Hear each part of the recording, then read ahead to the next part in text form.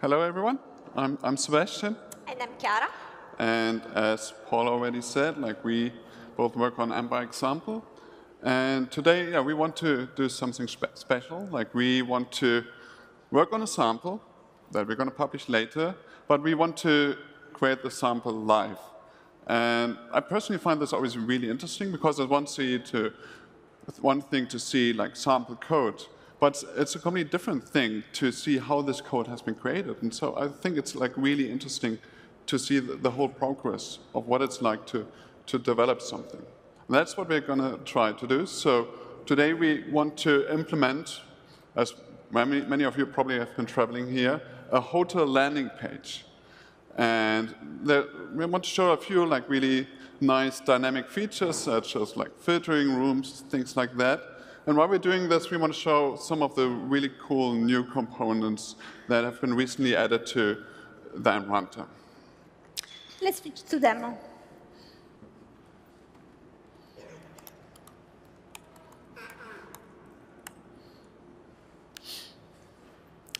So we prepared a very basic AMP page in here. So as you can see, we already have uh, imported the runtime for AMP. We have some basic uh, CSS, and we have the AMP boilerplate uh, CSS.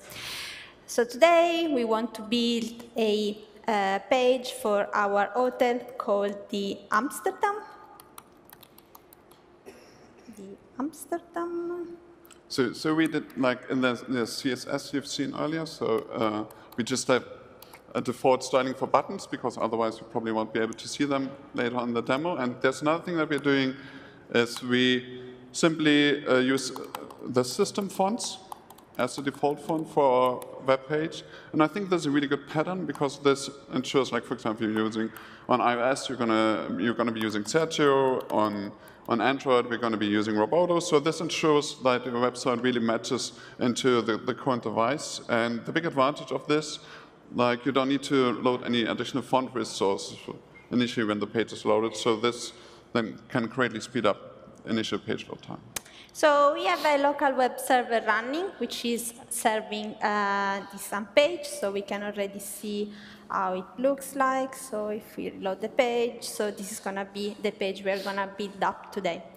So we want to pull the list of available rooms for the Amsterdam hotel. So first thing, so I'm going to use the amp list element in order to do that. So I'll start by importing it.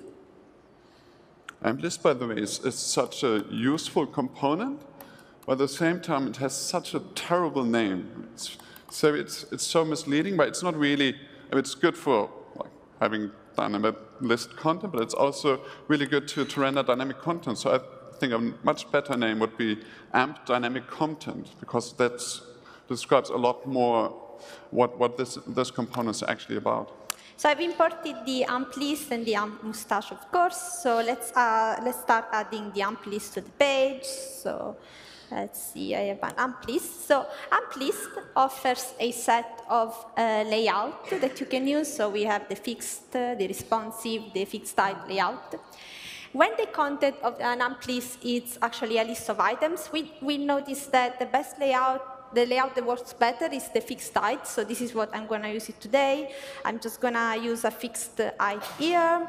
And then as a source, I'm going to use the uh, endpoint that I mentioned earlier, uh, which provides an API um, to retrieve uh, the available uh, rooms for the Amsterdam hotel. So this is rooms.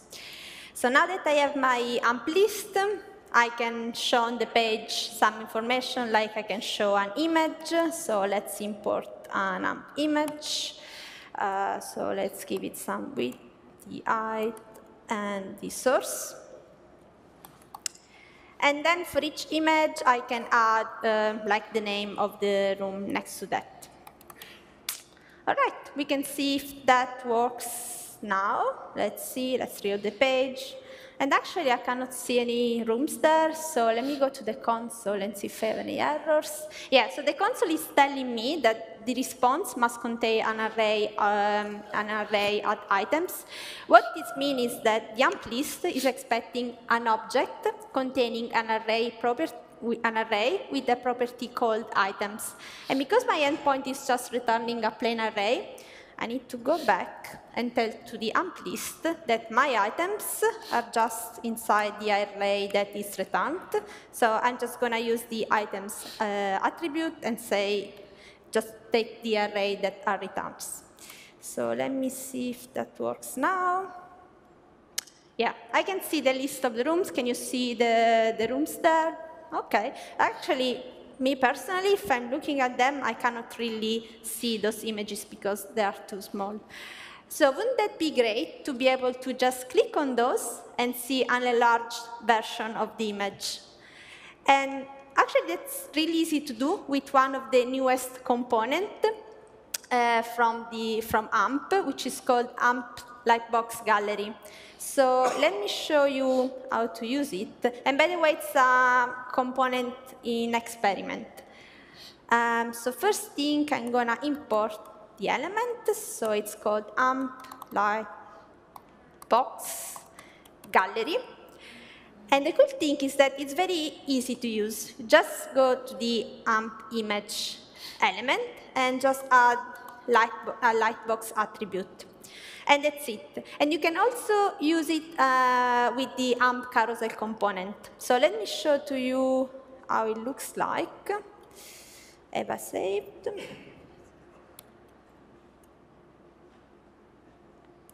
Okay, reload the page.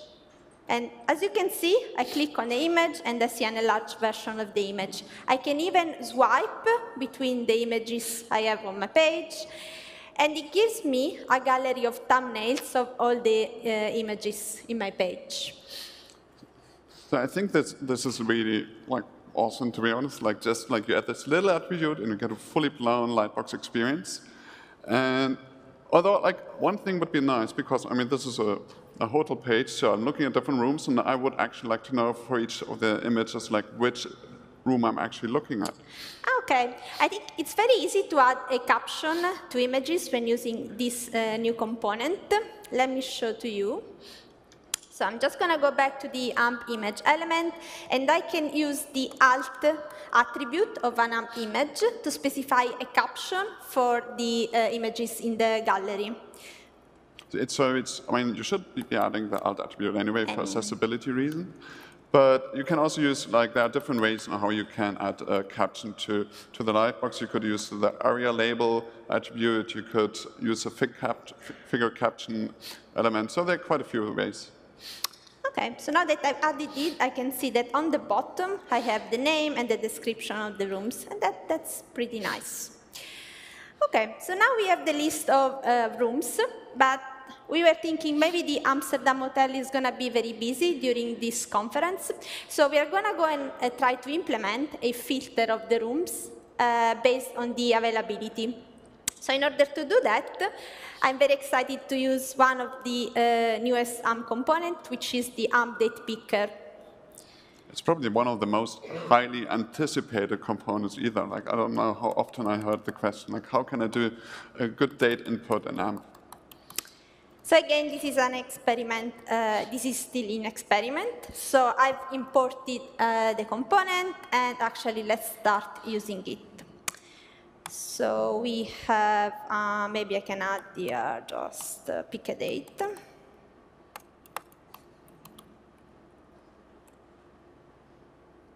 And then I'm going to add the AMP date picker.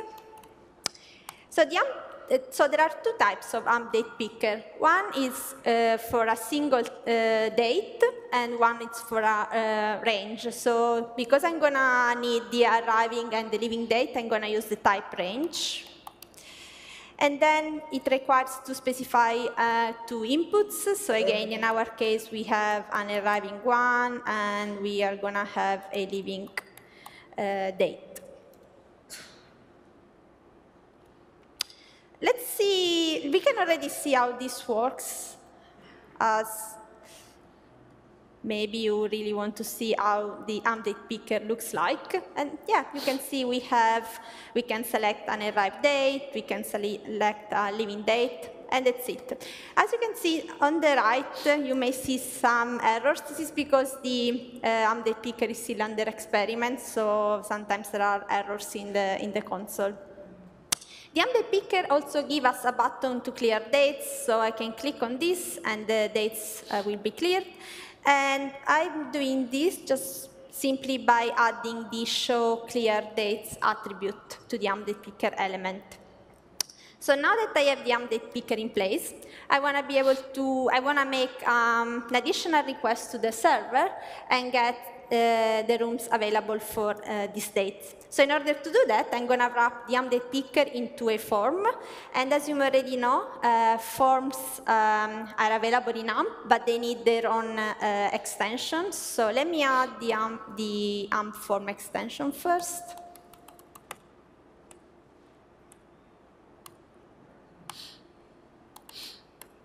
I've created these like snippets just for, for this demo, and I was like, how could I live with this before? It's so useful. So I highly recommend like doing this like when you're working with AMP. So our form is going to have a get method, and we are going to use uh, the same endpoints I was talking about earlier, which we already set up, um, which is able to, uh, we, can, we, we can query this endpoint to get the list of uh, rooms based on uh, availability. So then we can move the AMP date picker inside the form because we want to use the inputs as inputs of the form. and we will probably need a button. So yeah, the nice thing about the date picker that it works like uh, as a simple text input. So uh, you just drop it into an AMP form and your servers are able to, to receive the, the dates that the user entered. So let's see how this looks like now, so we have our picker, date picker, so we can pick some dates, uh, and then we have a button for check availability. But this button is not doing anything at the moment. So what we want to do now um, is take the um, response from the server request and update the list of rooms uh, on the page. So let's go back to our code.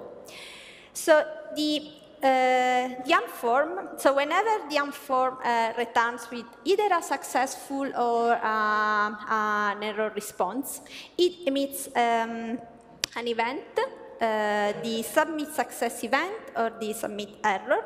So in this case, I'm going to use the uh, submit success event to know when the response um, has returned. So I'm going to say on submit success.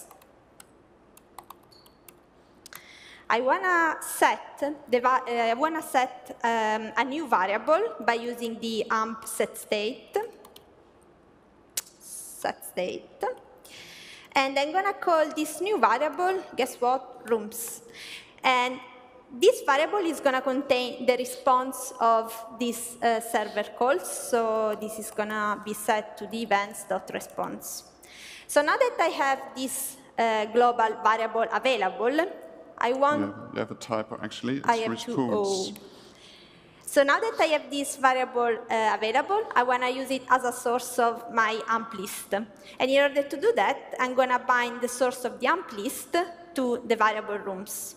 This actually really cool feature of AMPList is that you can add bindings to the source element, and it has like two modes. Like one side, you can provide an URL, which is then, if, if the AMP state is updated, the AMP is going to fetch a new URL and run another content, or you can even like just simply uh, bind it to specific AMP state variables, which can be very, very powerful. Okay, actually, let's see if that works. Reload.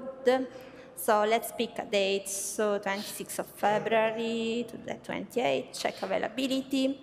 And yeah, I have AMP bind is not installed. Actually, that's, that's, that's true because I forgot to uh, import the AMP bind extension, which I'm going to do it now.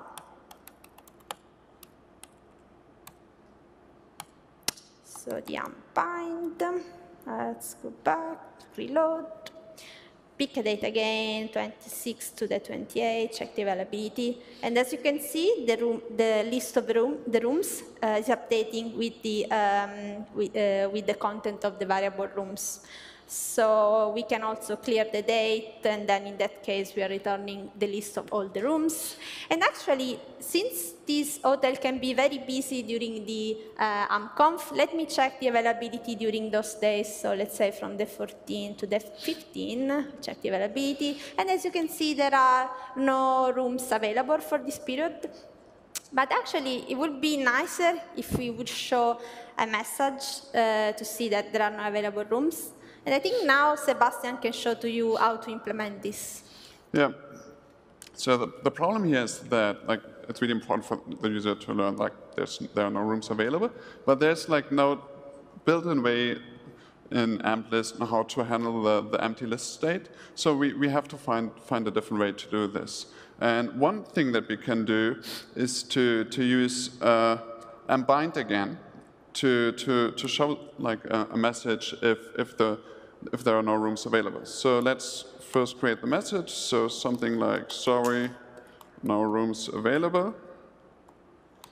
And then we're going to bind, show this message only if the list is empty. So it should be hidden by default. And I'm using the hidden attribute here. This is part of the AMP runtime. And surprise, it hides elements. But it's, it's very uh, useful if you combine it with actions or bindings. And what I'm going to do here is I'm going to add a binding for this. So, uh, so this should only, like hidden should always be present if the list of rooms is not empty. So let's see the, the quotes. So let's, let's try if this works. So reload the page. Initially, the message is not visible. Now let's check the availability during AmpConf. And we see uh, it's at the bottom. And this is like the setting, second annoying bit of, about AmpList. So when you, it dynamically changes its content, it doesn't resize. So basically, we have to do this, this as well. So you can take a look. We see here's an empty list still taking up all the space, which is like very ugly in this case. But there's is like quite an easy way to, to fix this. And the idea is to, again, use AmpBind to, to update the height based on the number of elements. So, uh, and this is like, I only, like, took me a while until I learned this.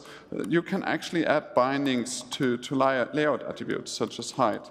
So in this case, I'm going to calculate the height based on the number of elements. And in our case, if we look at our sample, we see uh, that each item has a, the same dimensions. So in this case, it's 73 pixels. So it's basically the, the height then should be 73 times the number of elements in our room. So let's see. Going to check the availability for AmpConf again. And we see our message is now at the correct position, and the AMP list has a height of zero.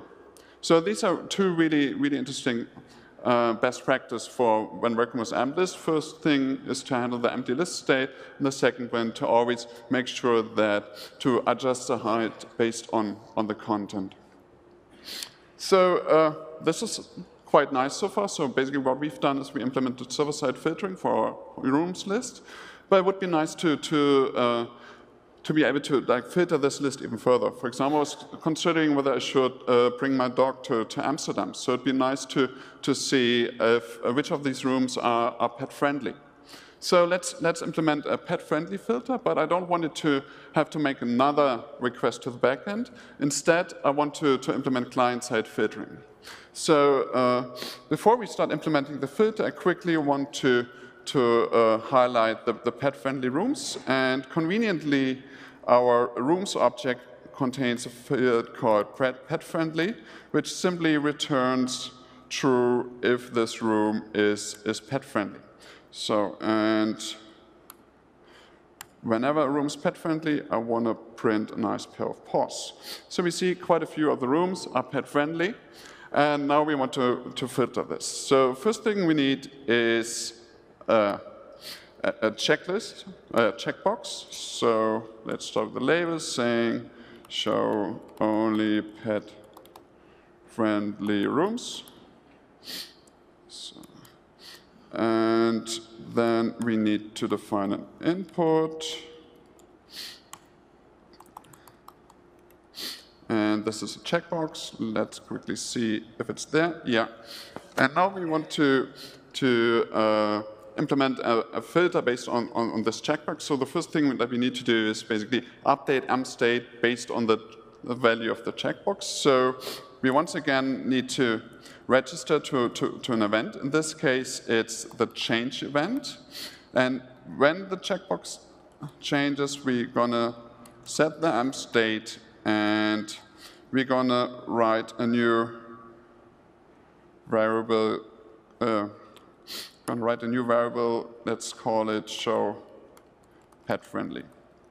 And then the variable is the state of the checkbox, and we have to get it from the event. And in this case, the value is called checked. And we want uh, to close it. Yeah, thanks. So uh, there's one, one thing, like events are super useful in AMP. However, like the naming of the value fields are, is not consistent. So you have for each of the different elements, you have to know how to access the, the correct values. And there's a really good page in the official documentation. It's called Action and Events. It lists all the different events and actions, plus how to, to use the different values, access the different values of an event. This is really useful. So if you want to start working with AMP bind, definitely take a look at this page. So let's see, see how it works. So I'm going to reload the page. And here's another really nice trick when you want to, to debug your AMP bind expressions. So I'm going to switch on development mode by adding hash development equals one to, to, the, to the URL. And then you can access the print state function in the console.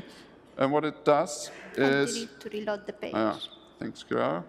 So once I'm doing this, we see initially this amp state is empty, but hopefully when I change the value, my checkbox, we're going to see now our show pet friendly value has been written to the, to the AMP state. So this is super useful when you're uh, working with, with AMP So now we've got the filter status in, in our AMP state. Now we use, need to use it to, to implement our filter.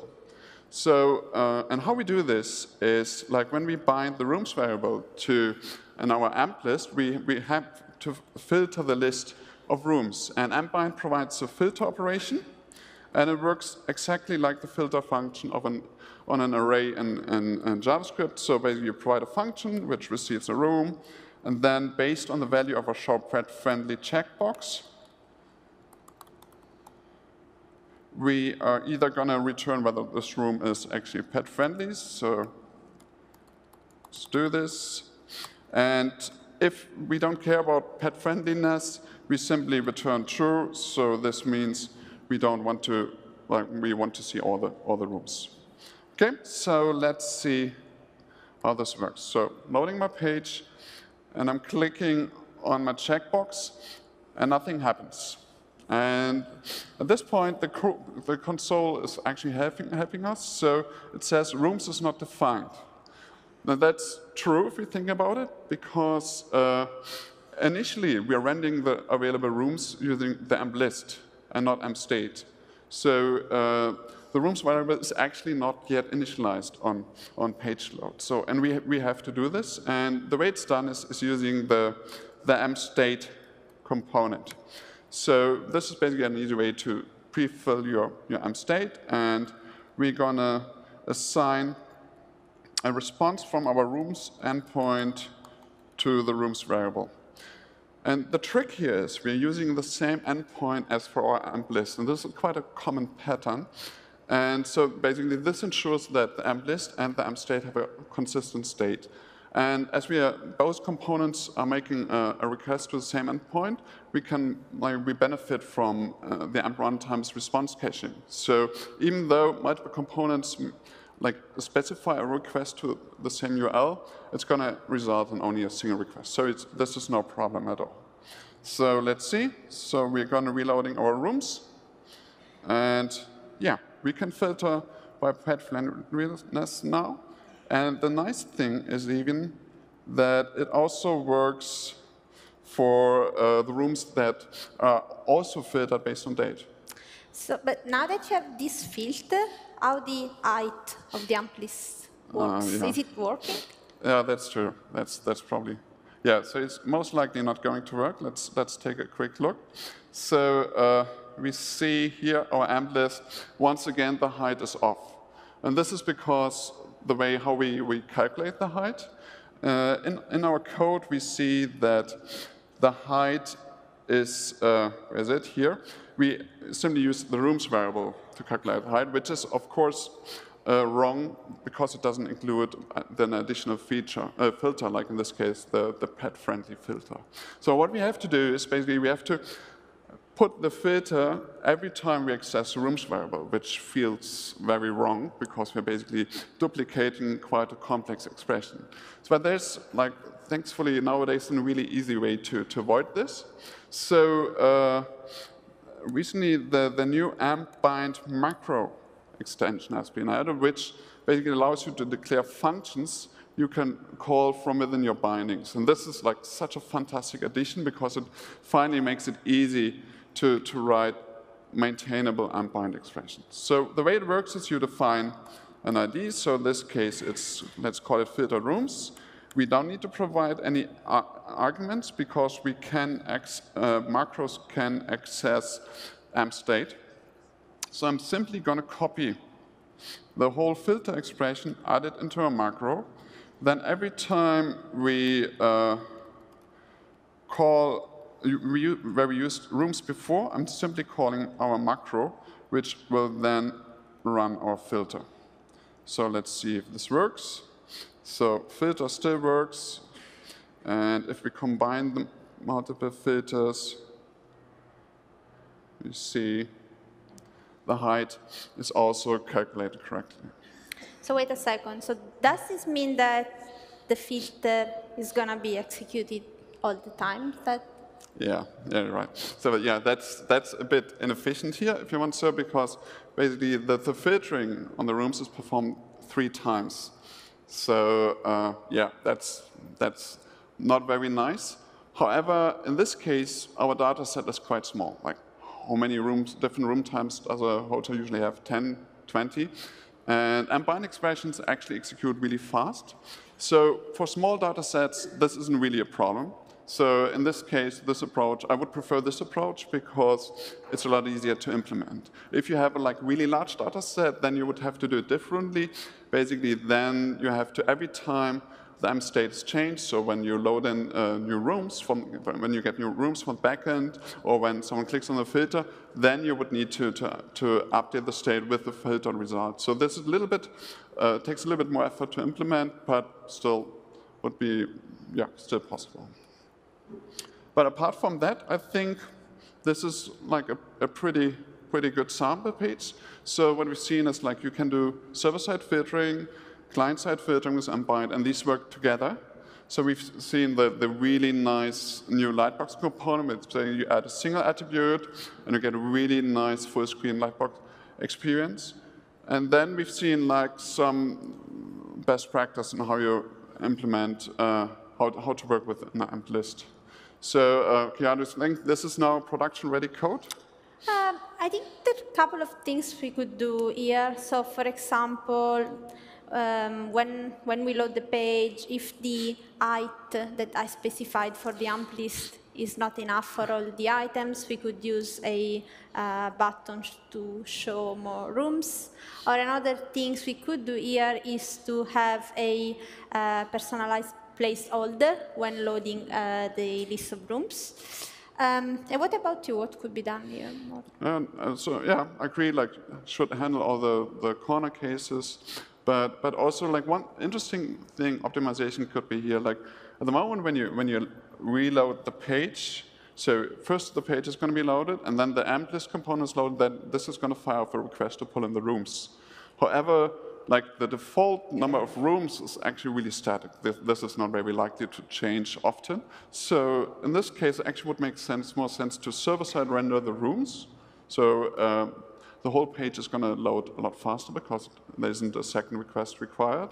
And the other thing is, then basically when you implement a filter, what the filter does, as soon as you click somewhere, the server-side rendered version of the rooms is hidden, and then you replace it with an, with an amp list. But apart from that, I think, well, this is pretty good. Yeah. So um, Uh, if you want to play around with the code that we just uh, showed today, you can check it out on, uh, on uh, AMP by Example. Um, and we're done for today, so thank you all for all your attention.